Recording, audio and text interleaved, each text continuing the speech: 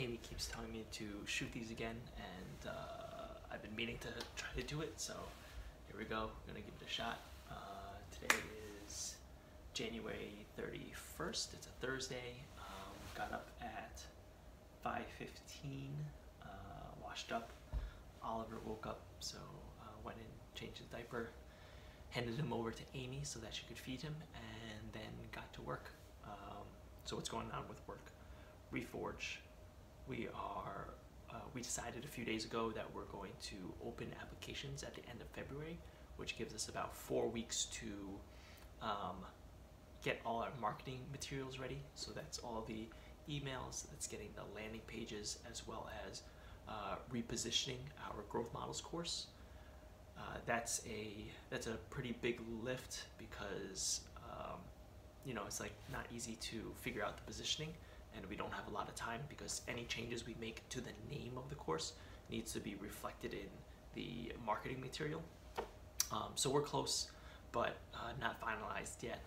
And um, those are the three major things. I know it doesn't sound like a lot, but it's a it's a lot. Um, right now, I'm about to dive into figuring out our application process. Um, at the beginning of this year, I, I wrote a pro, I wrote a post about uh, becoming a better practitioner, and I think uh, owning more of this live experience product for Reforge and being in charge of more of the application process is really going to put that to the test and see how much I like being a practitioner. Uh, you know, it's easy when I got to just write the copy and stay very much in my zone, which was um, writing copy and doing emails and thinking about strategy and thinking about positioning. Uh, but actually being on the back end where I have to be um, doing things in Excel, doing things in the database, uh, that's kind of like it makes me nervous because you know that's not where uh, that's not my strong suit. But for for this uh, cohort, we're gonna have to go ahead and make it work since we're kind of a leaner team with five people. Everyone needs everyone needs to step up their game. So uh, that is that's what's happening on the Reforge front. Uh, I couldn't even look at the the dashboards and I couldn't even look at the process for doing applications right away. I was like, God damn, like I need a cup of coffee first. And so I just uh, finished updating some of module six content for growth models um, while I let the caffeine soak into my bloodstream so that I could get going. Um, on the Shogun front, to be honest, it's been it's been hard to find time to get this in, but I'm working on hiring a another designer. Um, been pretty consistent with a cadence of two posts a day, trying to get that up to four posts, and trying to do a coupon for the people who entered our survey giveaway. Um, I want to be able to give them something else to continue the relationship. Um, so I'm excited for that. I'm going to be shooting out an email to everyone because they all gave us our email addresses from the survey, and we'll offer them a coupon and see if I can um, get them into the store, which will, you know, if I convert, uh, let's say eight people, I think eight people is the right number, um, we'll have made uh, all the money back on the advertising that we did for that one giveaway, which is pretty cool. Um, so that's where Shogun is at. Um, I want to try to find time to go in and do another shoot today, uh, but I don't know if that's going to happen. And with personal brand, um, the work on the site is going slow. I'm trying to squeeze it in maybe like uh, once a week, uh, but I'm behind in my newsletter and I, I owe a blog post as well um, for this Sunday. So got to figure out where that's going to get squeezed in um, especially between if I if I do decide to go and do a shoot today. Uh, just not quite sure where it's all going to fit in, but uh, we'll figure it out. And I think that's basically it right now. Uh, I think I just get back to work. Um, there was one thing that I was thinking about. Oh, um, lately I've been trying to work pretty late into the night. Um, late into the night, considering that I, I get up uh, pretty early, and it's been just like affecting my mood trying to work till 11 every single day um, and I, I think i'm noticing diminishing diminishing returns uh, need to do a better job of kind of shutting off around like maybe 9:30. Um, having that break for half an hour to kind of just chill and and then start going to bed. I think that um, sometimes you you feel overwhelmed with all the things that you need to do and you want to keep grinding but i notice my mood just gets worse and worse. So i'm probably better off like having that hard cap at uh, let's say 9.30 um, taking the break and then just waking up fresh the next day and and knocking things off that just need to be taken care of. Um, i like the idea of still holding one night every week to stay up till let's say midnight or one o'clock um, and do a long stretch of work but i kind of need to balance it with all right like there's a regular time to go to bed there's a regular time to uh, rest and wake up early the next day. Good morning. Say good morning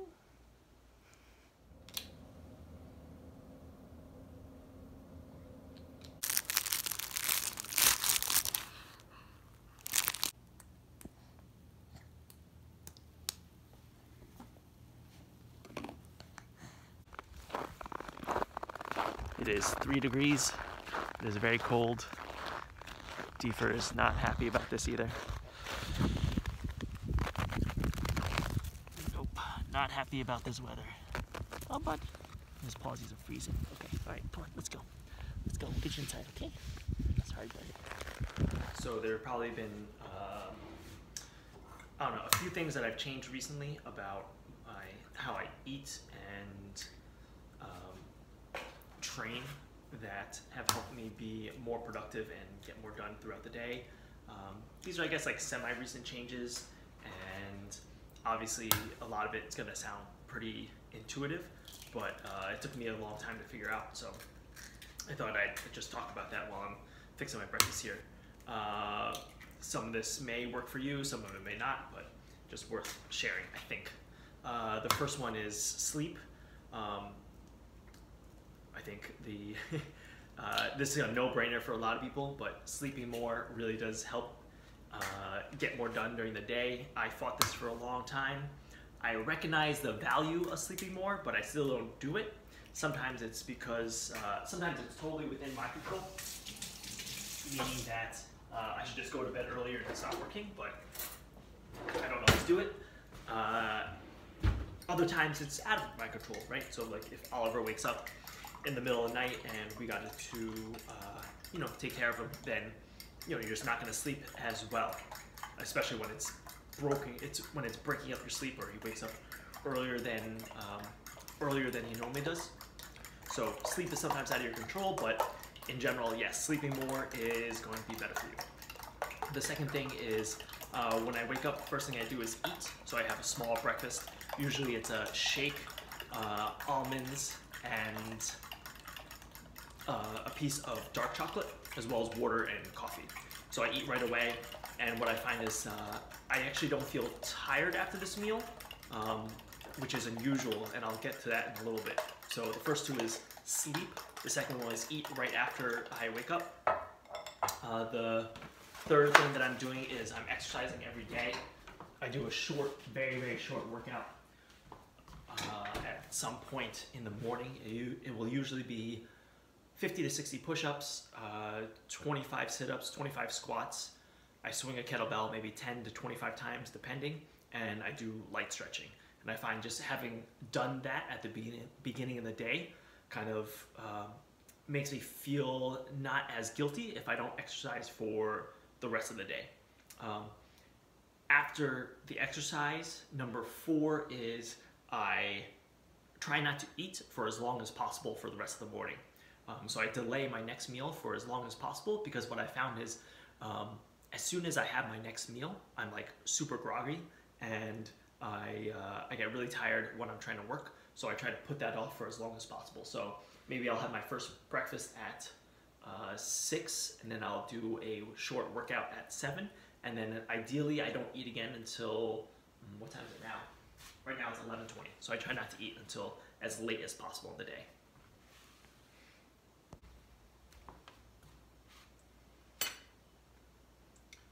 Okay, number five. the thing that I try to do in order to have uh, more energy throughout the day is I eat my next meal is a really big meal, and the reason why it needs to be really big is because I try not to eat until uh, dinner time. So this is my this is my last meal until dinner. Uh, so I'll eat around 11, 11.30, hopefully. Um, make it a really big meal. Usually I have another shake, which is a it just uh, Optimum Nutrition protein, peanut butter, coconut oil, and oatmeal. Then I'll have six eggs, uh, some avocado, a little bit of cheese on the eggs, salt and pepper, and if I'm like really hungry, I'll throw in like leftovers or something else in order to make that meal as big as possible. And uh, I don't want to be hungry throughout the rest of the day, and I find that eating those foods really helps uh, satiate the hunger through the rest of the day, and I don't really snack that way because um, I find even snacking at 2 o'clock, 3 o'clock, it'll make me more tired, which is not what we want. And number six, the, um, oh, so after this meal, generally it takes like 30 to 45 minutes, but then I will feel a dip in energy, probably because, I don't know, some sciencey shit where blood sugar is, blood sugar levels are involved. I actually have no idea, but I always feel tired afterwards. So what I will do is I will try to match my work to the energy that I have. So that means that if I am, uh, I can't do any like high mental strain work. I need to do things that are more rote and that don't require a lot of thinking on my part. So maybe it's uh, editing writers, submissions on uh, content modules. It might be something that's like more active. If I if I have to go do a photo shoot at Shogun, like that's a good time because at least I'll be moving around and I'll feel um, I won't feel that tiredness as much. So matching energy with the work, that is number six, I think. Um, number seven, normally I work at Starbucks. What's good about that is that I sit at the, uh, the bar and allows me to either sit down or stand up when I'm working. And standing up just helps me, uh, being able to change position and change stance like that uh, helps me to maintain higher levels of energy. It also uh, gives you the chance to stretch and do things like that. So that's super helpful. Highly recommend uh, being able to stand up when you're working. Let's see, um, like I said, uh, I don't eat until dinner, so that's the next thing. I think that's number eight. Um, yeah, just don't eat anything and try to maintain that level of energy. I found that if you're getting hungry and you need to snack during the day, it means that um, you're not eating the right foods, I believe. Not an expert. Um, this is just based on my own experience. When I eat a lot of carbs, I tend to get more tired during the day and I also get hungrier again versus when I mostly focus on proteins and making sure I have fats in my food, things like almonds, coconut oil, and um, butter, and I'm missing one. Almonds, coconut oil, butter, avocado. Avocado helps a lot as well. Um, I find when I do those things, then I am able to uh, stay satiated for the whole day, basically. Um, another thing, I actually, for eggs, you know, you're supposed to cook them really slow. I think the, what's the expression? Uh, slow and, low and slow for the heat. Um, I like it very high, and that way I cook them very fast. As long as I move the eggs quickly, then they usually like turn out okay. So, um, okay, where was I? Number nine. Usually I quit coffee by three o'clock and I switch to sparkling water. That way, I don't know. Supposedly the caffeine messes with your sleep later that night. I don't really, I haven't really noticed that, but you know, whatever. It, I don't need to have like seven cups of coffee. Five, five is fine. So I'll switch to sparkling water. Um, and what else? Oh, I drink a shit ton of water, uh, a lot of water. I really notice this in the afternoon because sometimes I do forget. In uh, when I'm at Starbucks, I just don't bother, and this definitely makes you feel kind of shitty. So, um, drinking lots of water throughout the day. Keep the bottle in front of you so that you remember. Um, even if I put the bottle behind me or I'm sorry, behind the computer, I notice that uh, it's very easy for me to forget to drink. So keep the bottle in sight. That way you're drinking water and staying hydrated and not getting headaches, feeling productive, uh, all those all those good things. I like to put lemon in my eggs. I think it makes it taste better. Okay, I think those are the 10 things. I'm gonna eat this guy and then go to Starbucks, uh, do my work there. Uh, I'm not gonna go to, um, I'm not going to Shogun to do the photo shoot. I'm gonna bump that out to next week when I will be in the Albany area anyway. And we'll just be at Starbucks until uh, I have a call at four and then um, get home around 5.30 to eat at six and then go to class at seven. And then when I get back from class, probably go back and work for another few hours. So got to Starbucks and uh, the first thing that I worked on was what was the first thing I worked on? Uh, oh, so like I said, I get mad tired after I eat. So the first thing I did was finished up, uh, finished uploading the lessons from the writers, um, which were sent over, and it's just a little uh, less high energy, so easier for me to knock out. Um, that was the first thing, and then finished scheduling the email invitations for the Reforge Los Angeles meetup that we're doing uh, February 19th.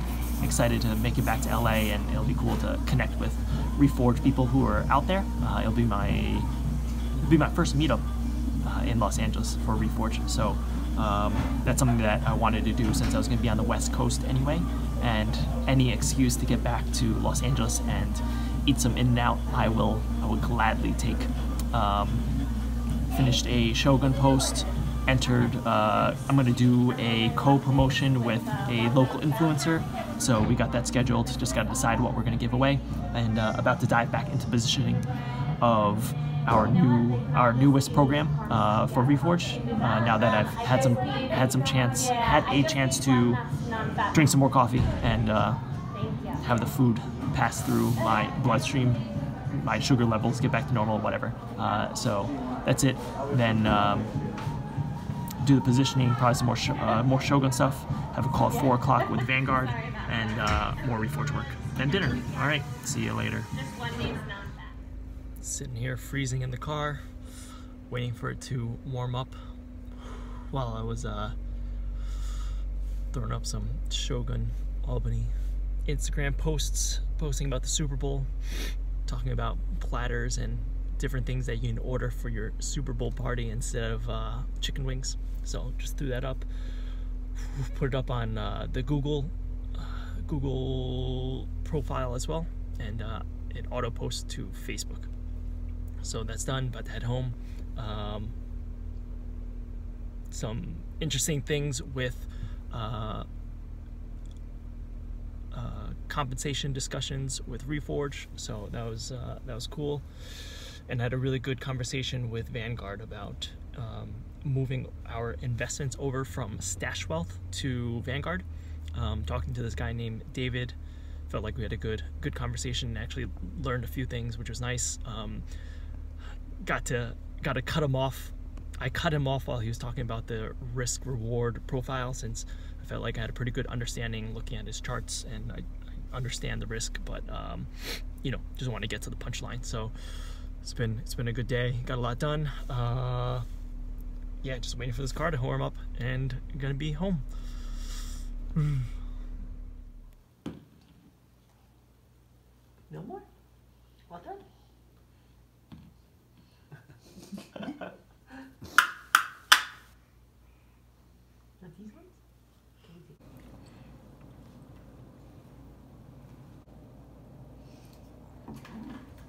like to try some tart? Okay, it's 10:03, and uh, I got back from jujitsu and drank some water.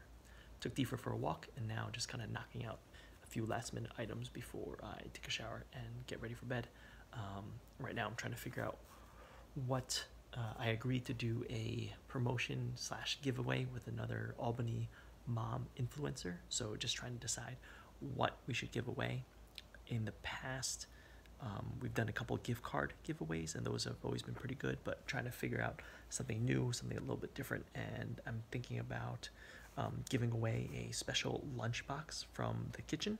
Um, I think it's a good good value and um, easier to create assets around. That'll be a little bit different. It'll force me to take more pictures of our lunchboxes. This is what those lunchboxes look like. So you've got a bunch of different things. Um, anyways, I think that'd be a good, uh, good giveaway. So I think that's what we're gonna go with. So I'll wrap up those last few tasks, then I'll cut this video, load it up to YouTube, and call it a night. See you tomorrow.